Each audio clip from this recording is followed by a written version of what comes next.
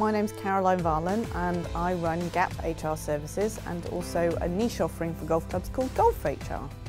My business offers expert employment law advice to organisations keeping them 100% tribunal free so I make sure that they're doing the right thing with their employees and giving them help if it all goes pear-shaped. I started Golf HR two years ago because I already had three golf clubs on my books and I was really enjoying working with them because they're very much a family environment. The problem is when there is a problem, they have to still deal with it under employment law. I'm used to talking to committees and explaining things to them, knowing what other golf clubs have done in similar situations. It's also reassuring for them to know that they actually are not alone with dealing with their staff issues. Right, good evening ladies and gentlemen. I love running seminars. I love being able to talk directly to employers in a relaxed atmosphere where it's fun to give them the information. The seminar I'm running today is How to Fire the Buggers, which is a controversial title. What we're doing is going through the basics of employment law regarding dismissal. We've had a huge amount of fun learning about some of the things you really need to have in place before you get to the point of having to fire people. I think it's hugely important because there's a lot of things that I didn't know, and I've got 10 employees, so it was really interesting for me, without a doubt. As employers, you shouldn't be wasting time deciding on people's sick pay. You should be out there earning money and getting new clients in.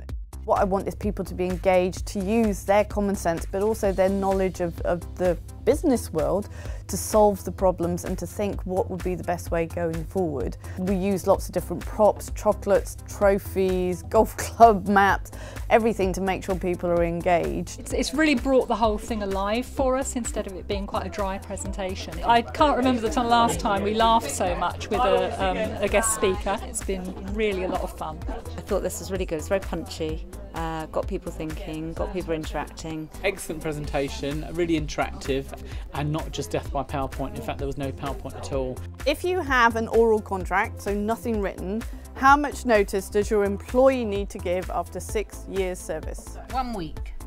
One week, absolutely correct. It has been great fun. There's been lots of laughter and amusement, shall we say, on what we do and don't know about employment law and so very entertaining and she's delivered it in a really entertaining way so we've all had a good good time while learning today.